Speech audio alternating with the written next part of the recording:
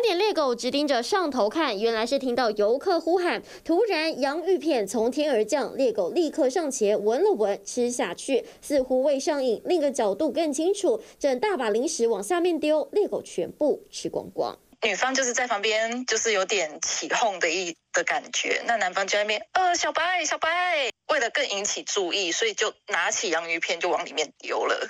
带小朋友的家长，那。所以我还是有说你们这样子的喂食，那 OK，那也没水准。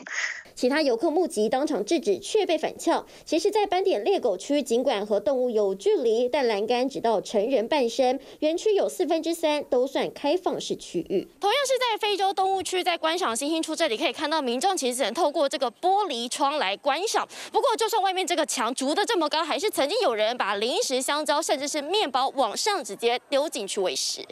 只看不动手逛动物园也有够事，但有些民众可能太兴奋，拿了食物就想喂。动物园说，早期常在灵长类动物，包括红毛猩猩、猕猴区，游客丢水果进去，或是骆驼、黑猩猩也曾被外来食物投食。比较夸张的是，有一次我呃在骆驼的展场里面有捡到营业用的奶油块，很大块的，有掉监视器去是游客丢的。